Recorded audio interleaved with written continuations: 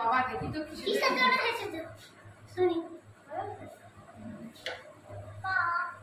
কিসের জন্য হেসেছো দেখি? শুনি। কিসের জন্য হেসেছো শুনি তো।